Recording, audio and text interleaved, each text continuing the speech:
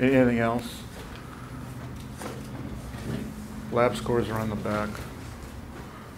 And use that, you want to, may want to use that ruler, just make sure you only look at your, yeah.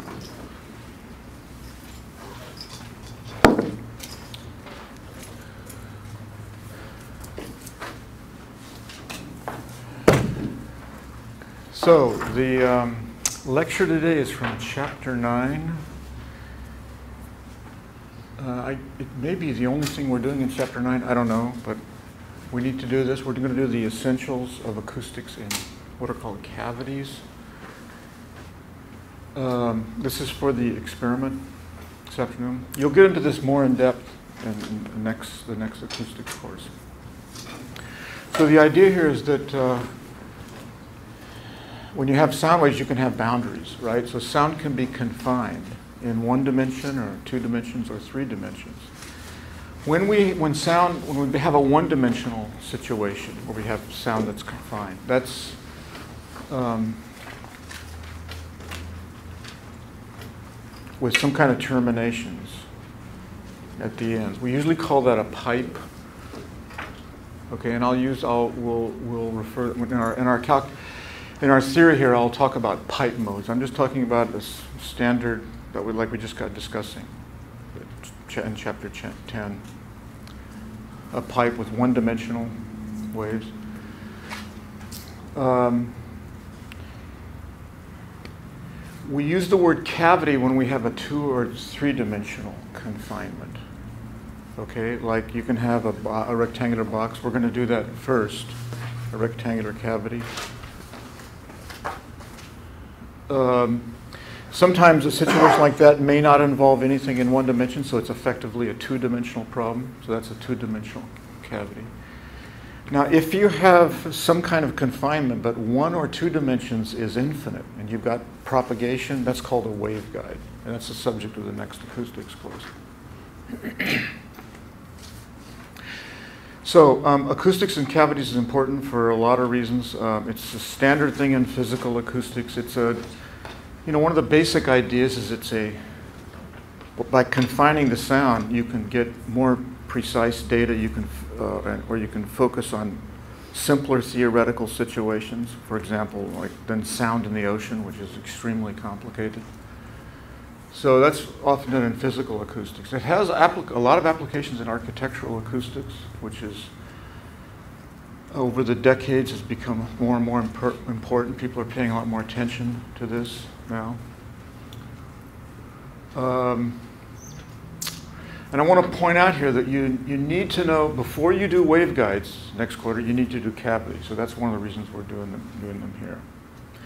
The main problem here is to find all of the possible standing wave modes. So we're going to be looking for standing waves of a definite frequency, okay? And we need to find all those. And it's uh, one of the reasons it's important is when you, we're going to be neglecting drive, neglecting dissipation and have no drive. Okay? But in a realistic situation, when you have drive and dissipation, you know why these modes are important here, these standing wave modes. They're going to become the, they're going to be the resonances. So the simplest place to begin here is a rectangular cavity. So here's what we mean. Uh, the sound is confined to this three-dimensional region here. And here's our coordinate system. Uh, we use these L's to be the the three lengths. We're going to assume rigid walls. You can generalize this. The other simple boundary condition is pressure release boundary condition. We're just going to stick to rigid walls here. Um, so what, in fact, we have a rigid wall. If you look in the x direction, in the x direction here, that means that x is equal to 0, which corresponds to the yz plane here the sound can have no x component of the, the particle velocity can have no x component because it's a rigid wall, okay? Similarly, over here, the other wall that's parallel to this wall at, at uh, x equals lx, we have to have no particle velocity in the x direction. And then you can go along here and replace x, these two x's with y's, that gets you this boundary condition in the y direction and similarly for z. So um, what this boundary condition means is, we, we can see what it means from Euler's equation. Here's the linearized Euler's equation. Because there's no x velocity at x equals 0 and Lx, it means that uh, we'll have an antinode in the antinode in the pressure here. It means the partial p with respect to x has to be 0 because this is equal to 0 on those two, on the two walls here. So we have to have antinodal pressure boundary conditions here.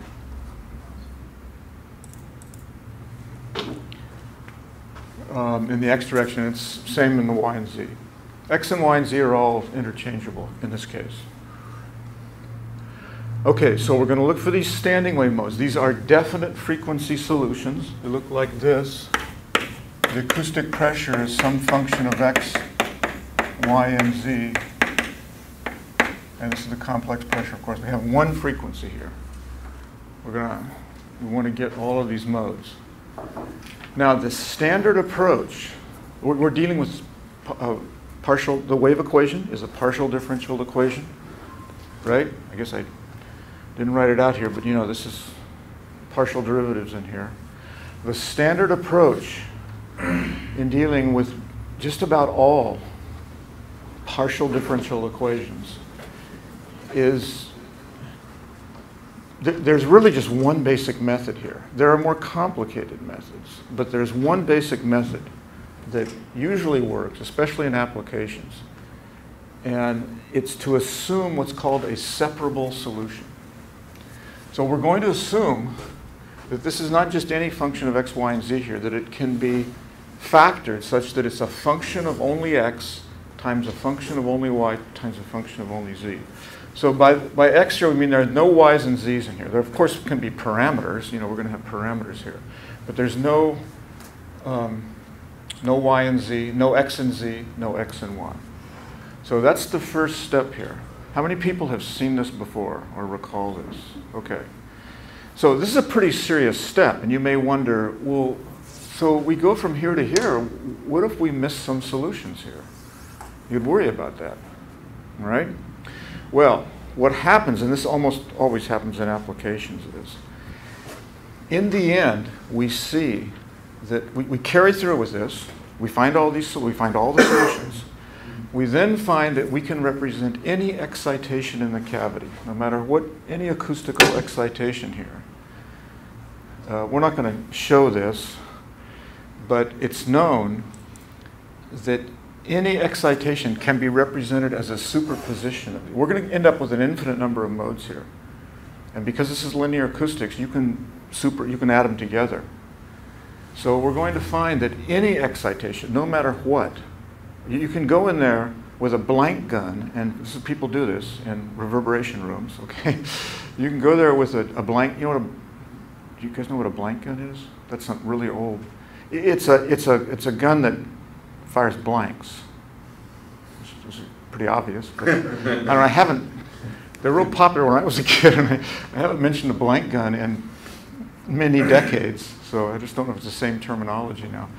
So you can do that to do look at echo studies, you know, whatever you want to do. So that's far from a standing, nice, steady state standing mode, right? Sounds bouncing around in there and complicated. Um, but it can be represented as a superposition. We're going to find that. So this method is justified at the end. It's, it's a very, very standard method in partial differential equations. Some of you have seen it before. Okay, so here's the wave equation, right?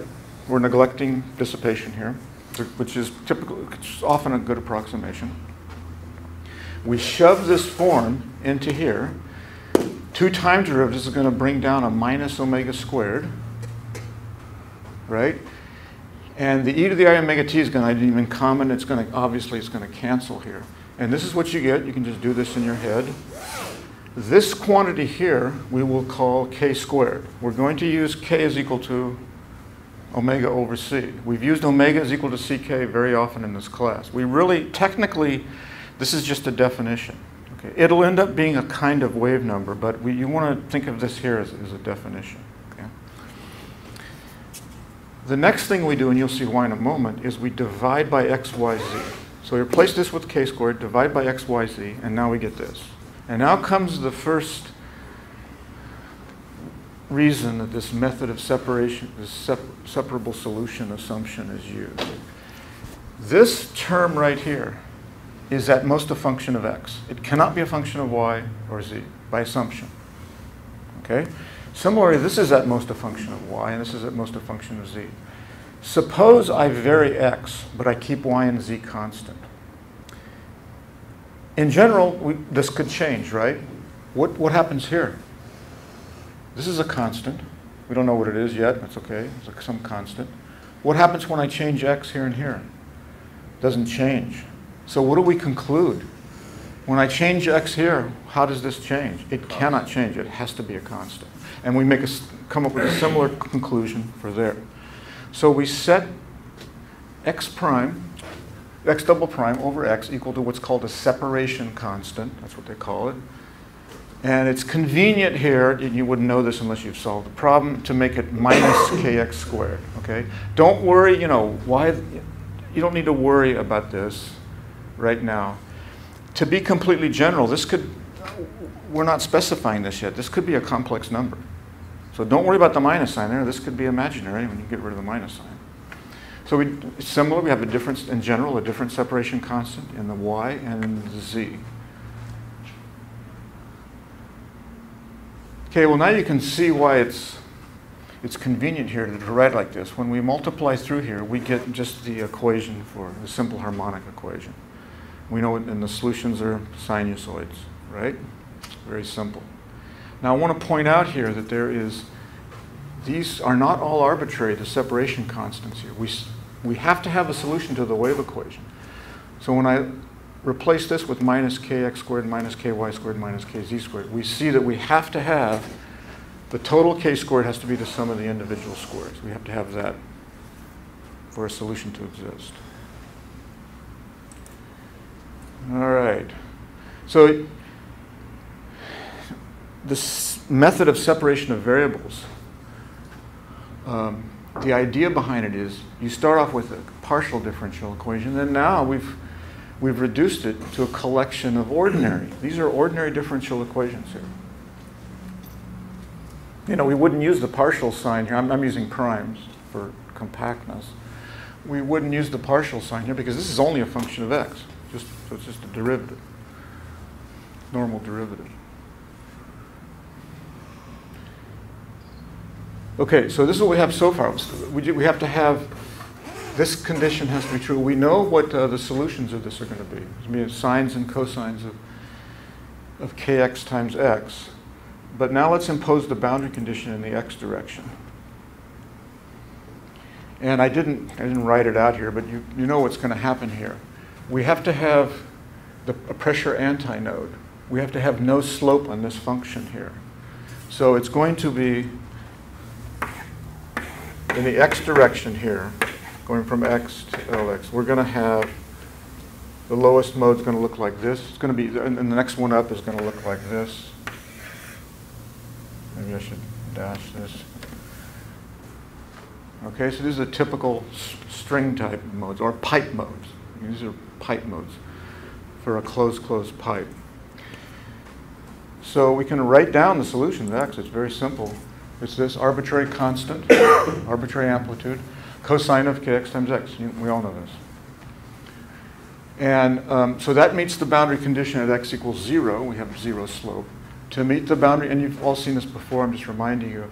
To meet the boundary condition at L, we take the derivative of this and set it equal to 0. And it will only be true for these discrete values, these particular values of kx here. So we've discretized the kx. kx has to be an integral, num, uh, integral number of pi's divided by Lx, because we've got to have the antinode there.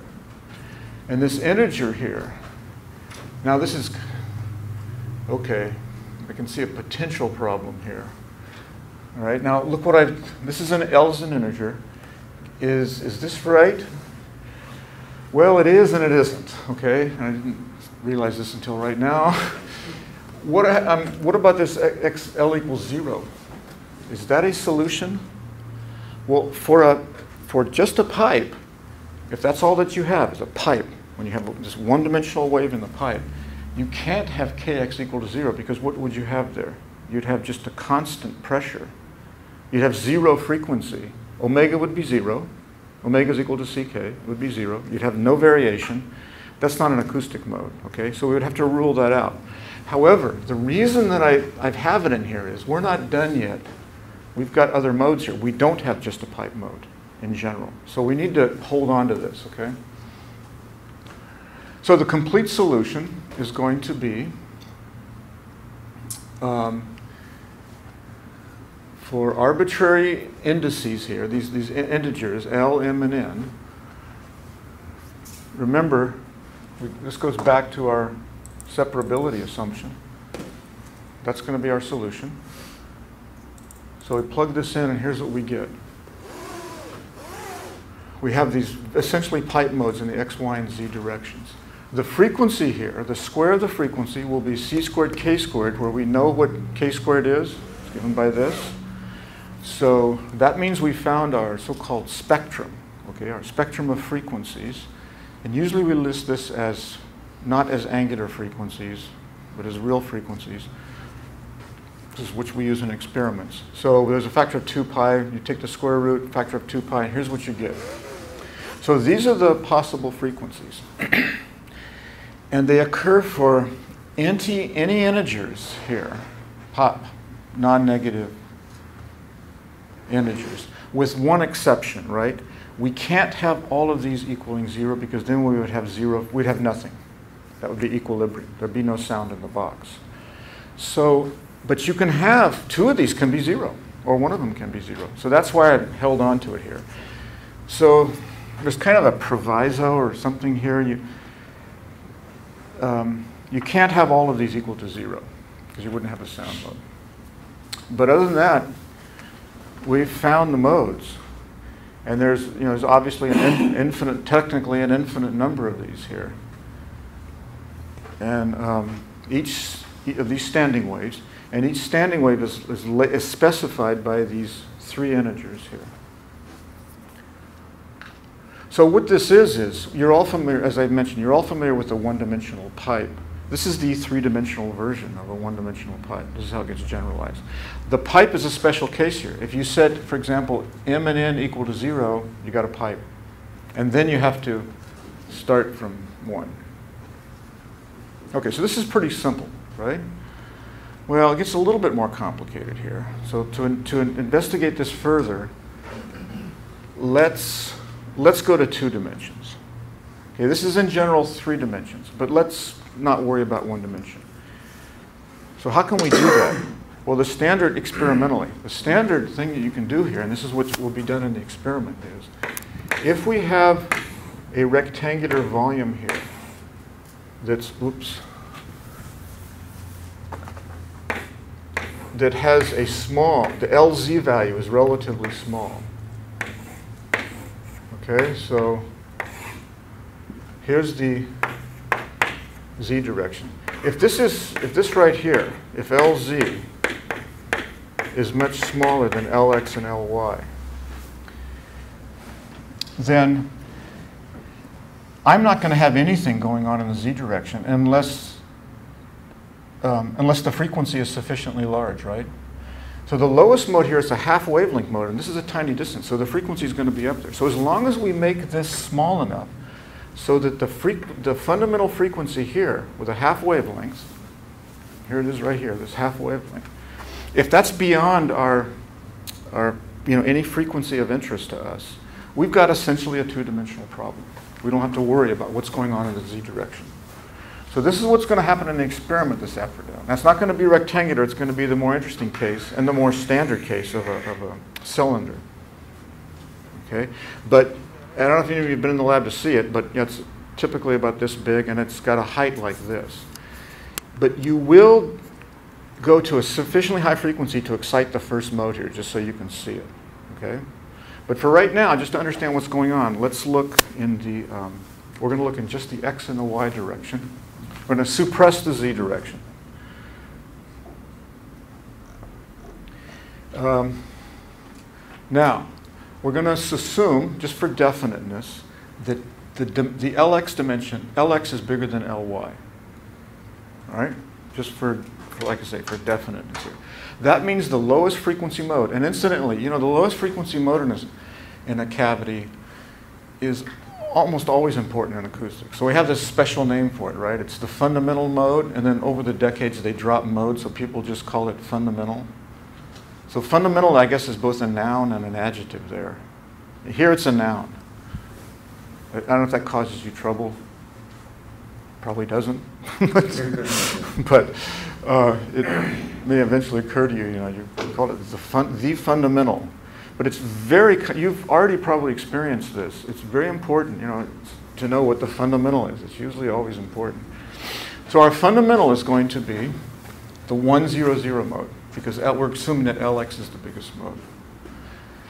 Now, as you um, sweep frequency here, you're going to find that there are, of course, higher modes. If you have put in damping and drive, there's going to be resonances, and they will correspond, as I said earlier, to our modes, our standing wave modes that we found here.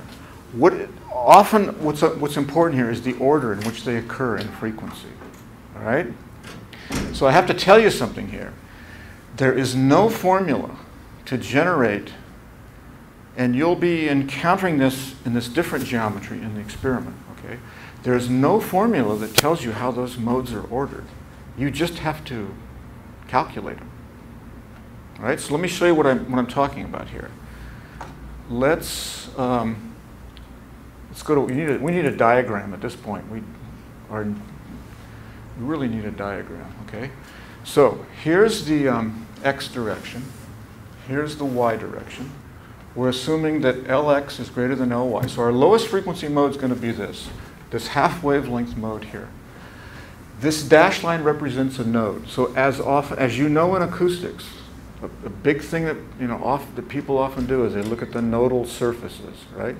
So here the nodal surfaces are just planes. There's a z direction out here, but we're neglecting that, right? We're imagining we have there's no modes being excited there. We're not worried about that. So here's the fundamental. you know that you're going to have pipe modes here you're going to have, these are just simple pipe modes here, where you add a half a wavelength. So here's the half, the fundamental half wavelength mode. The next mode up for the X pipe modes is going to be one wavelength, then it's going to be three halves, etc. Okay? And the again, the dashed lines represent the nodal, nodal planes in this case. What about looking at the, the in the y direction? There's obviously going to be pipe modes there, right? This will be the lowest frequency mode. This mode will be at a higher frequency in this mode because Lx is bigger, obviously, okay? And just as we had these pipe modes marching off here to, to large or infinite value, we can do the same thing here. Same idea, right? Um, Now, there are other modes though. And here's an example. There are mixed modes that involve motion in both the x and the y directions. Here the motion's only in the x direction. Here it's only in the y direction. This is mixed here, as you can see. This is the 1-1 mode. There's a nodal plane here and a nodal plane there. And um, now, there, here's an example of these mixed modes. There's the, this is the lowest frequency mix mode. There's going to be the 2-1 mode, two in this two nodal two nodal planes. You'll notice the index here refers it happens to be equal to the number of nodal surfaces. That's nice. So you can just you can march along here and just generate all of these things. Now I want to make um, hold on, let me check and see if I'm right. So let's get maybe I should get back to this. This is the lowest frequency mode. What's the next one up? up? Anybody? Two. This one? Okay. Anybody think this is one? you don't know. It depends upon the in this the aspect ratio. The ratio, you know. You can think of it as L, Lx over Ly or Ly over Lx, doesn't matter. So it's going to, going to depend upon the aspect ratio. So you have to, you know, you got a specific system. You want to know what the next one up is. You have to calculate. There's no formula that exists. Students often want, you know, ask about this. They want to know. So where's the formula? Well, no one's been able to come up with it. I don't think they're going to be able to, okay? So you just have to calculate them for your specific case. Um,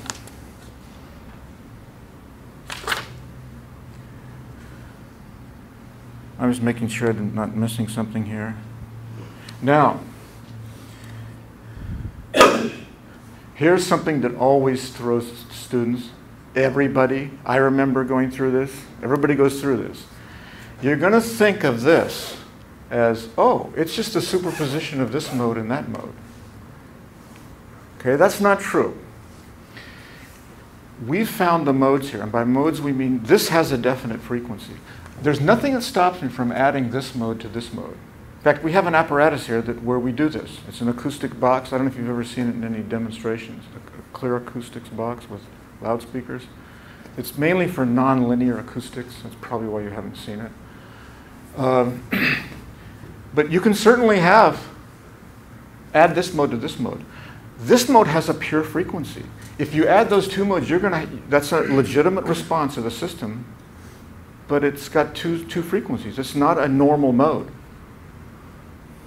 because it has two frequencies. So this is a different, this is different, and it's not a superposition of those two. The math shows you this because you remember Here's where the math shows it to you. Remember, our solution here is not a sum, it's a product. We multiply, it's a multiplication, so it's not the sum.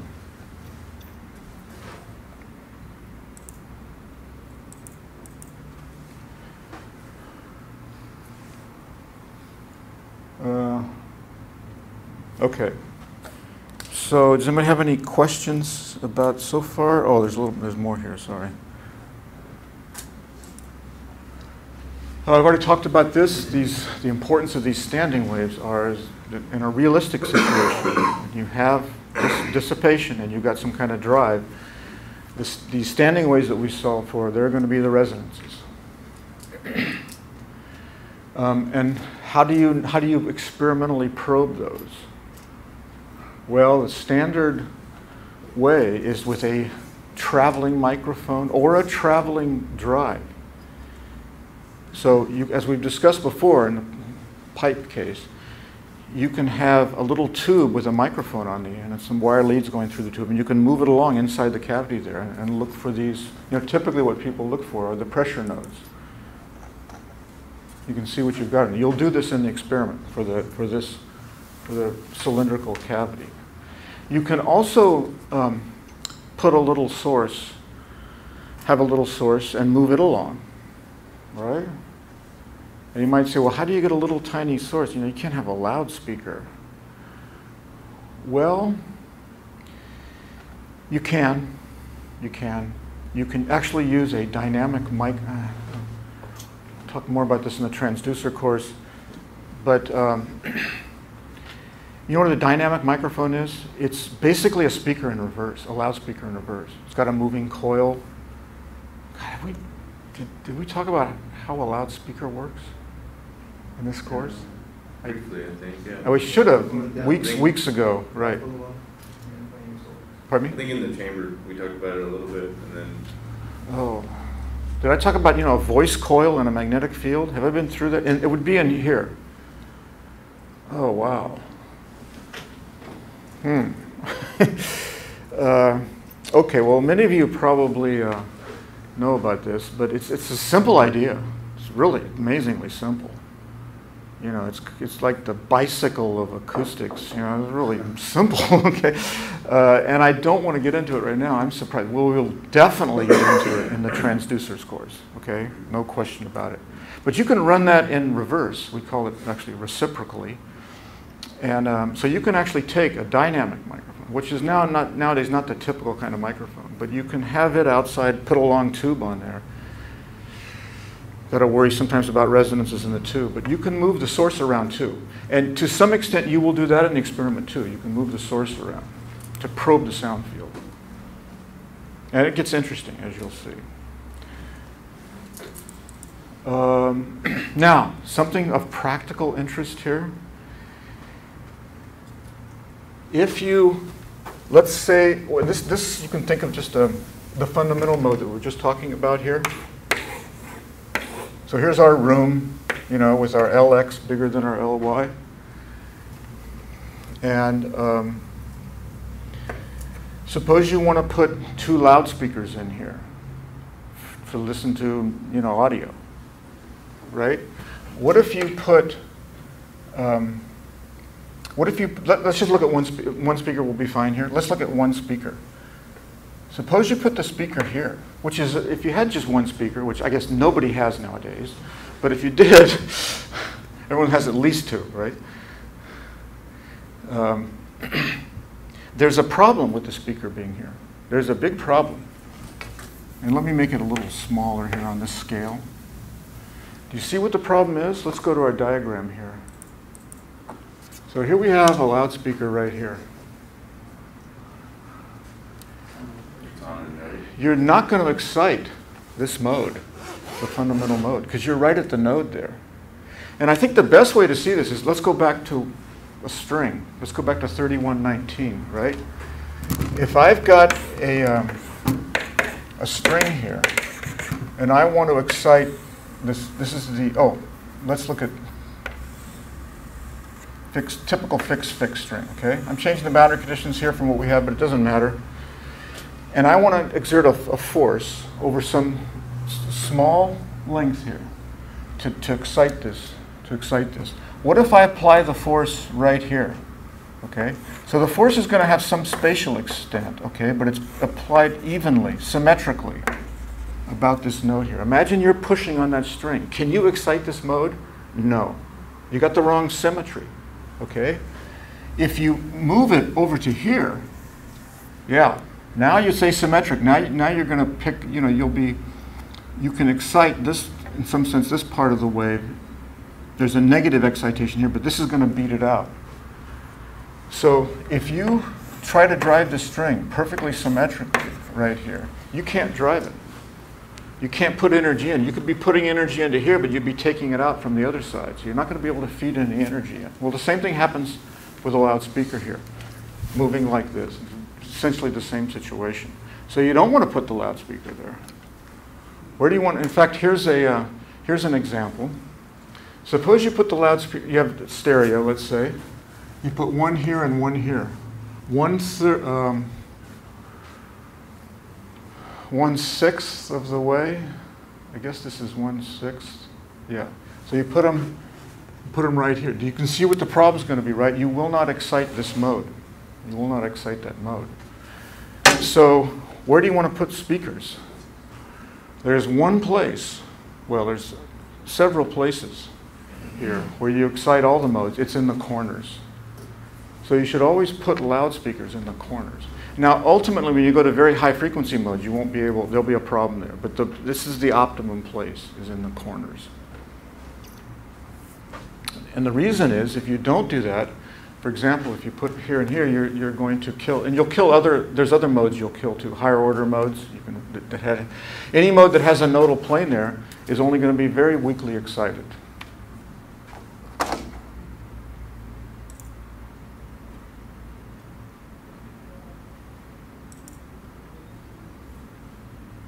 Okay, so that's the rectangular cavity.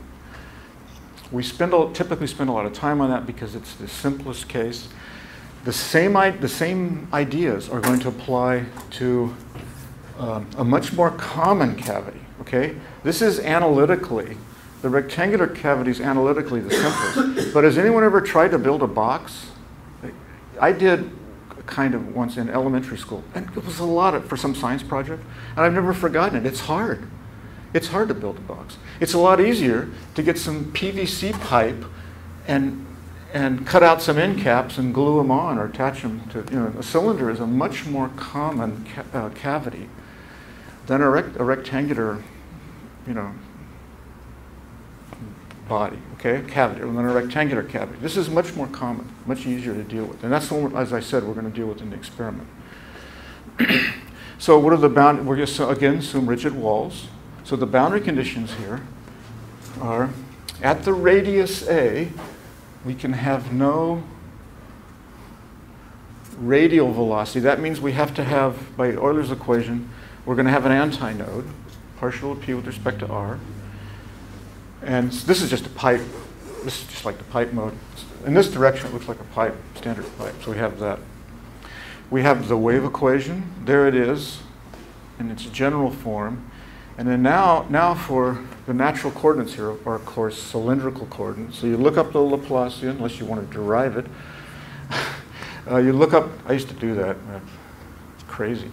But um, here's the Laplacian in cylindrical coordinates. So you know we're going to have some more trouble here, right? It's not as simple as the rectangular. But the idea is the same. We look for a separable solution, okay, plug it in. Now it's more complicated. We've got these r's floating around here.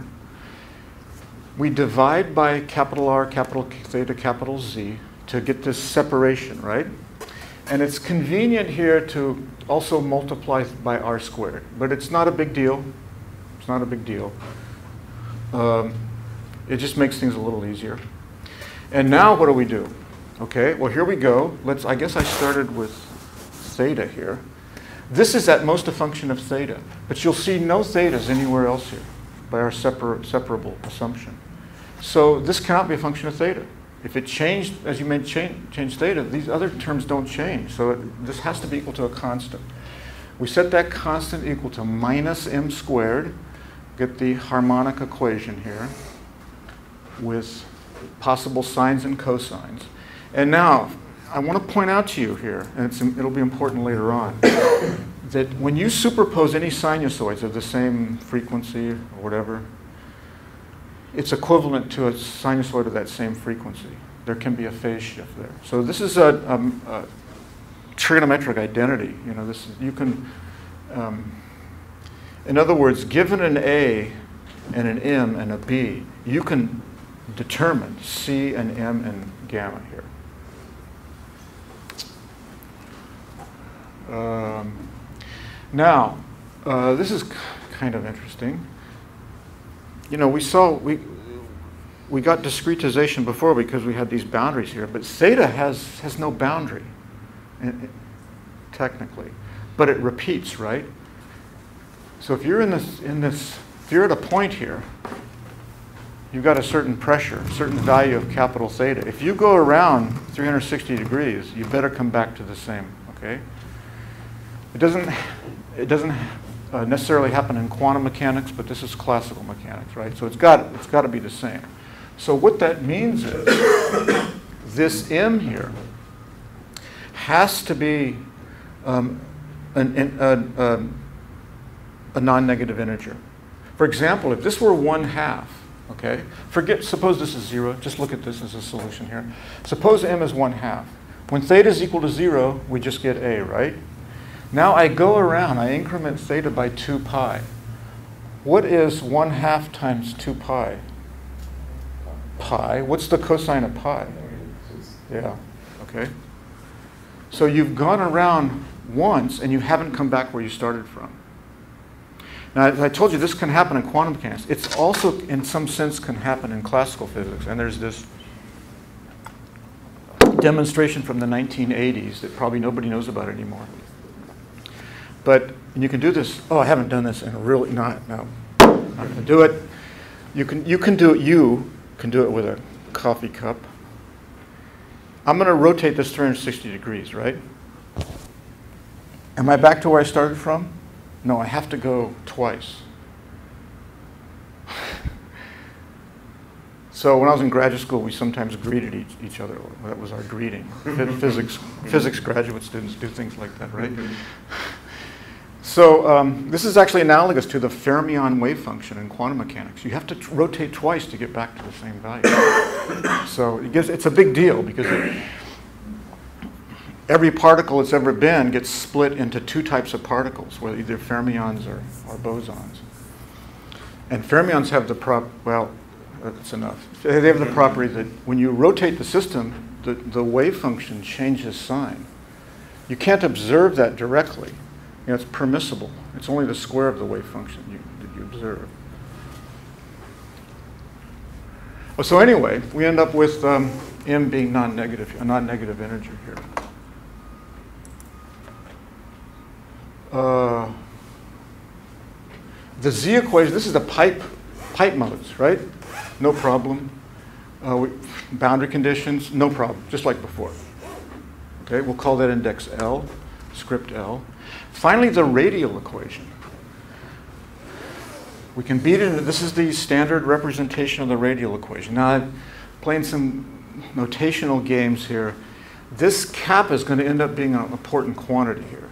And kappa is, kappa squared is k squared, which is, um, you know, omega squared over c squared, minus the wave number in the z direction. That turns out to be the relevant thing here, which is equal to this. So this is, um, this equation turns out to arise in an incredibly large number of applications. It's just unbelievable. And not necessarily when there's circular geometry. A lot of people think that, oh, it, it always comes up, you know, it, it's only it comes up in circular geometries. It's called Bessel's equation, and it's just unbelievable. In fact, as an example, now that I think about it, not many people know this. Bessel, when he came up with Bessel's equation, he wasn't thinking of anything that had anything to do with a circle, circular geometry. He was dealing with a, um, a chain, you know, like a beaded chain of mass, that, right? Uh, I don't know what those are used. They're sometimes sp- sprocket chains, but you know what I'm talking about, right? What are those used for? Like a toilet chain. Yeah, there's a good there's a good application. That's an important application, right? Every day, Yeah, multiple times. yeah, multiple times, right? so, um, so you know what I'm talking about, right? These beaded chains thing. He was looking at the problem of um, modes on a chain. So if you take a chain, and you've probably done this, and you drive it back and forth, you're gonna you should do it if you haven't done it. I don't know if you want to use the toilet one, but what, you drive this back and forth, and at certain frequencies, you're going to get resonances. Right? Now that's kind of a complicated problem. The, the tension is going, you know, the tension is greater than it's not like a horizontal string where the tension's constant. It's a more complicated problem. The tension's a function of position along the string. He was solving that, and believe it or not, and I don't think anybody knows this these days. I just remember from being in graduate, you know, from the 80s.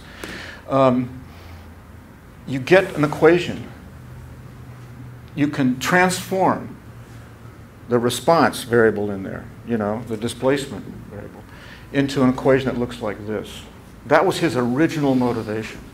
So I'm telling you this because you will, you will be, as you go on, you'll be amazed at where these uh, Bessel's equation arises. Not, it's, it happens very often in circular geometries, but in wave systems, but it can happen in all kinds of places.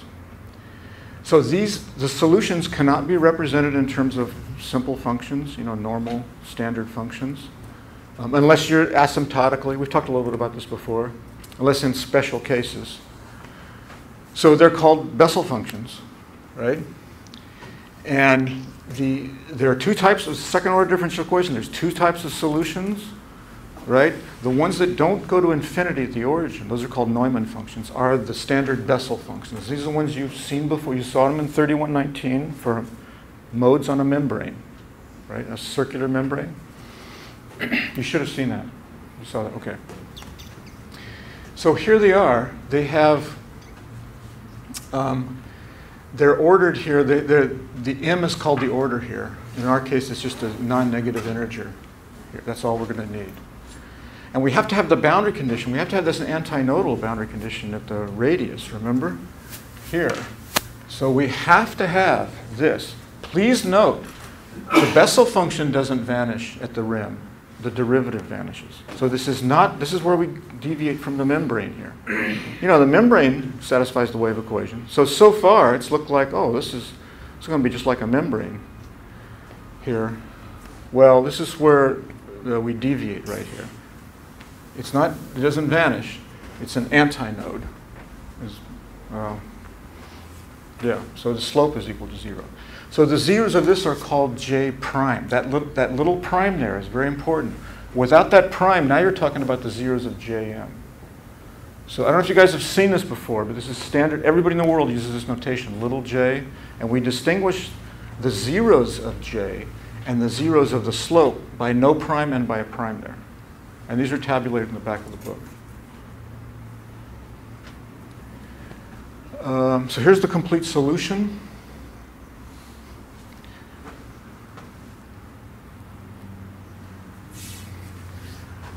All right? And we're going to use, we're going to use, it's appropriate here to think, it's be- uh, best in this case to think of these modes as these as, call these the azimuthal modes, the modes that change as you vary theta. We, um, we could use the sine and the cosine, but I think it's better to use this, where you can arbitrarily set this phase. And I'll, on the diagram, I'll, I'll point this out to you. This is the usual pipe mode, and here's the Bessel function. So um, I don't know if I completed this when we talked about this before, but the water cooler mode, when the bu- I talked about this a couple weeks ago. At a water cooler, when a bubble comes up, it excites a bunch of modes. And after a while, it's just the fundamental mode. And what does the fundamental mode look like? I don't know if you've ever seen this, but it's beautiful. It's, it looks, here's the, the water cooler, here's the axis of symmetry. Here's the equilibrium location of the water. Okay, all right, I'll make it more realistic. This is closed off there. So what does the mode look like? And it's going back and forth. It's oscillating, right? Beautiful mode. Has anyone ever noticed this? Are there, uh, do water coolers exist anymore? Oh, okay. I haven't seen one for a while. Oh, no, I know, I know, I know where there's one. I've seen it. Yeah, I've seen it. Um, but anyway, if, if you can see the, you know, the, the large, typically five gallon jug here, you, this is a really beautiful mode. That's J0. That's a zeroth order Bessel function. And that's what we can have acoustically. So we have the same boundary conditions there. Unlike the membrane. The membrane has to be fixed at the end. okay, so here's the spectrum. Okay, it's somewhat a little bit more complicated before, but the same idea. And now that these zeros come in here because we we have to have we in order the, the zeros of the, the zeros of the slope of the Bessel function come in here because of that boundary condition. They come in here. So the modes are labeled by M and an N. We're going to suppress the Z mode for right now. Okay, like I said, in the experiment, you'll go to a high enough frequency to see the first one, just to see that it's there, okay? But that's basically all. The rest of the experiment is going to be dealing with in two dimensions here. We're going to do, we'll do the same thing here. Um, and here are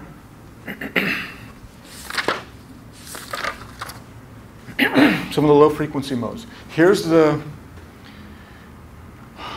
here's the zero two mode. It doesn't start at one. Okay, and it and I comment on that in here. J, and the reason it doesn't is this is equal to zero, and you can see it right here. The first salute for J0, when m is equal to zero, the first zero is right here. This is the second zero. So we don't have, that, that corresponds to a mode of zero frequency. So we have to start off at two here. So here's the first, um, we call this radial mode. This is the lowest frequency radial mode. You can march off to infinity this way, analogously with a pipe. Here's the next one up. This is a nodal circle, right? That's the water cooler mode. And oh, you notice, you know, this is not a sinusoid, right? This is smaller than that. And you can clearly see that in the water cooler. Clearly see it.